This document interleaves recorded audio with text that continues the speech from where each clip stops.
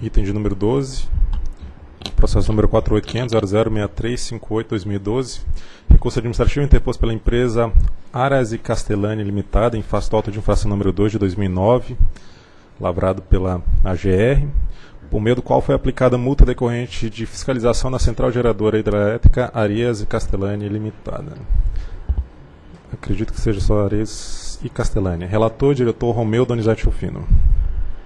Em 18 de fevereiro de 2003, por meio do despacho 65, a SGH, é, acatando o pleito formulado pela empresa Areias e Castellani Limitada, formalizou o registro da central geradora hidrelétrica CGH, denominada CGH Areias e Castellani Limitada, localizada no rio Made é, Maria Ferreira dos municípios de Posse e Mambaí, estado de Goiás, com duas unidades hidrogeradoras, sendo uma de 104 e outra de 440, totalizando 544 kW de potência instalada.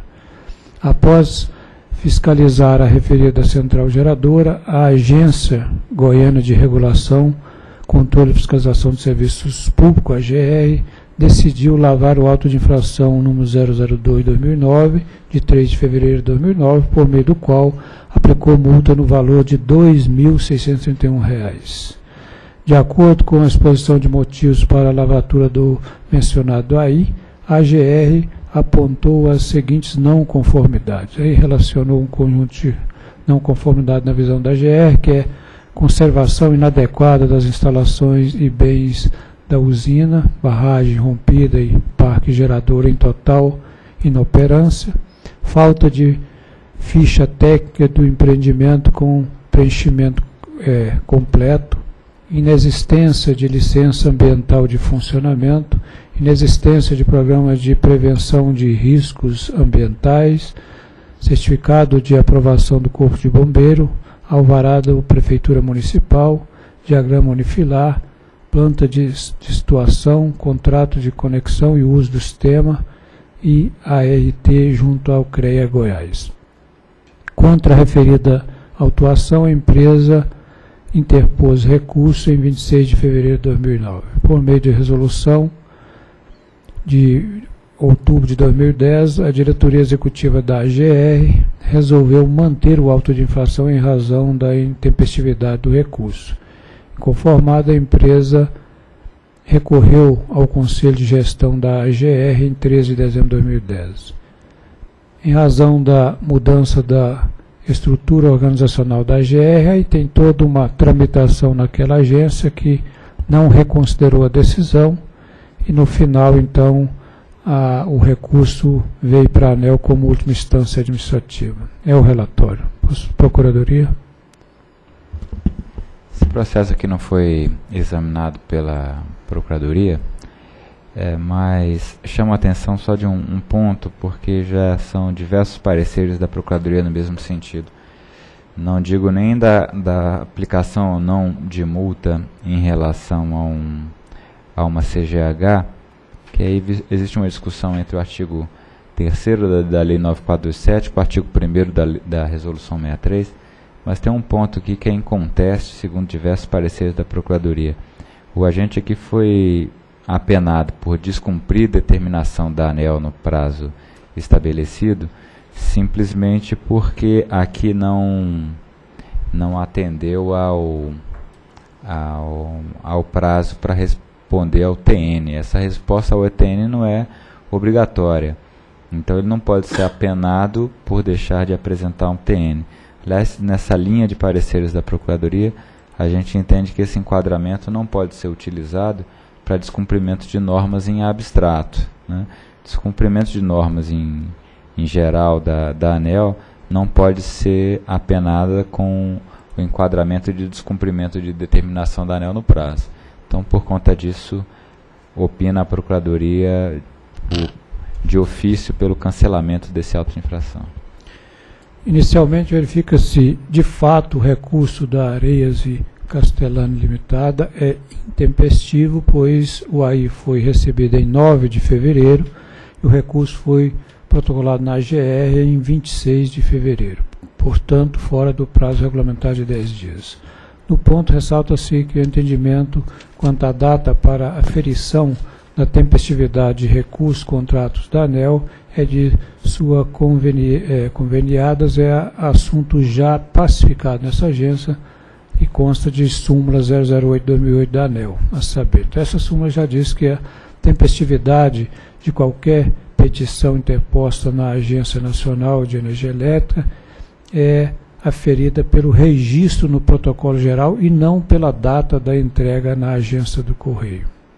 Assim, com base no artigo 43 da Resolução Normativa 273-2007, o mencionado recurso não deve ser conhecido. Neste aspecto, a decisão da AGR não merece reparos. No entanto, o fato de ser intempestivo não exime a administração de rever seus atos quando eivados de vício de legalidade, podendo revogá-los por motivo de conveniência ou oportunidade em conformidade com o artigo 53 da Lei 9.784-99. Parece-me ser este o caso, se não vejamos. De acordo com o artigo 8 da lei mencionada, o aproveitamento de potenciais hidrelétricos iguais ou inferiores a 1000 kW é a implantação de, e a implantação de usinas termoelétricas de potência igual ou inferior a 5.000 estão dispensadas de concessão, permissão ou autorização, devendo apenas ser comunicados ao poder concedente. Conforme se observa do citado dispositivo legal, basta o interessado construir a usina e comunicar ao poder concedente essa comunicação se dá mediante o preenchimento de uma ficha técnica com os dados do empreendimento, simples assim. Além do mais, não há prazo estipulado para a utilização do potencial hidráulico igual ou inferior a mil, como é o presente caso. E o proprietário da CGH pode, a qualquer momento, desistir de operar a usina, seja qual for o motivo. Nesse sentido, o fato de o parque gerador estar inoperante em razão do rompimento da barragem não pode ser considerado uma não conformidade conforme apontado pela GR. A título de informação, depende-se dos autos que o rompimento da barragem da CGH aconteceu após o fechamento das comportas da PCH Santa Edvigens e por ocasião de chuvas intensas no final do ano 2006. Desde então, a CGH está desativada. Ainda que a paralisação das atividades da CGH não fosse por motivo de força maior, nada impede que o seu proprietário desista de operá-la a qualquer momento, conforme já mencionado Repita, se trata de exploração de um potencial hidráulico menor que mil e que não precisa de concessão, permissão ou autorização. Assim, de mesma forma que basta uma comunicação ao poder concedente para operar a CGH, é importante que sua desativação seja também comunicada para fins de atualização do banco de dados de geração. Entre as razões entre as não conformidades apontadas no AI, consta também a falta dos seguintes documentos: licença ambiental, de funcionamento e um punhado de informações que eu já mencionei no relatório. E também a alvará de prefeitura municipal em responsabilidade técnica. Sobre essa questão, verifica-se dos autos que tais documentos existem conforme cópias apresentadas pelo recorrente. Isso não foi avaliado pela AGR em razão da intempestividade do recurso. Chama atenção o fato de que as não conformidades apontadas no AI foram enquadradas no artigo 7, inciso 16 da Resolução Normativa 63, qual seja deixar de cumprir determinação da ANEL no prazo estabelecido. No entanto, é possível inferir dos autos que o enquadramento do referido dispositivo foi motivado não pelas inconformidades apontadas, mas sim pela não manifestação da empresa ao termo de notificação que foi emitido após a fiscalização em campo. Ora, a empresa não está obrigada a se manifestar em relação ao TN, e a falta de manifestação não pode ser tipificada como uma infração.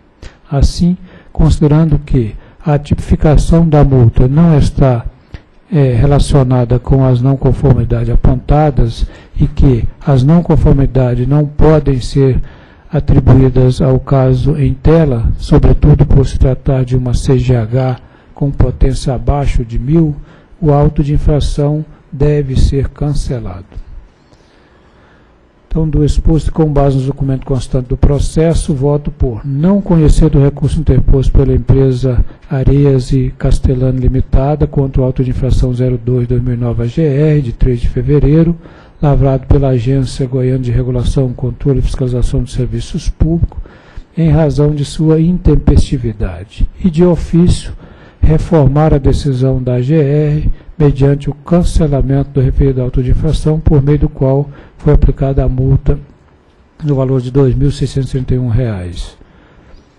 Também é, voto por determinar a SCG para que tome as providências relativas a baixa do registro da CGH Areias e Castela Limitada e comunicação do fato ao interessado, esclarecendo que a CGH, se, se a CGH for reativada, novo registro deverá ser pleiteado à ANEL.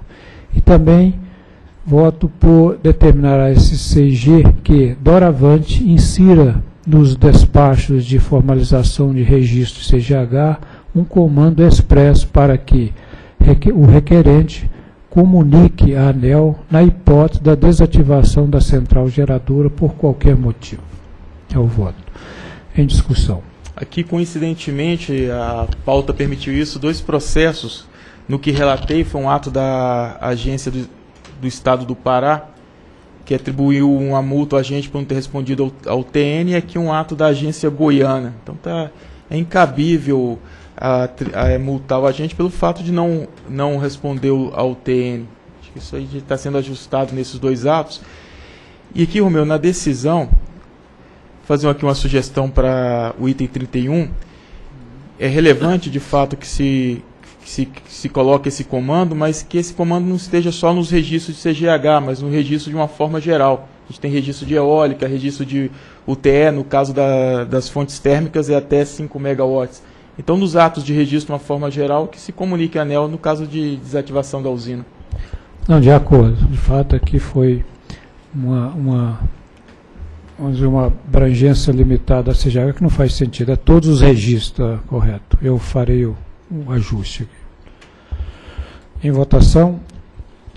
Voto com o relator. Também voto com o relator. Também voto com o relator. É um programa que a diretoria, se por não conhecer do recurso interposto pela empresa Areias e Castellani, cancelar o auto de infração e determinar a SCG para que tome as providências estabelecida aí no item 30, e para que determinar também a SCG que doravante insira nos despachos de formalização de registros, de modo geral, um comando expresso para que o requerente comunique à ANEL ah, na hipótese de desativação da central geradora por qualquer motivo.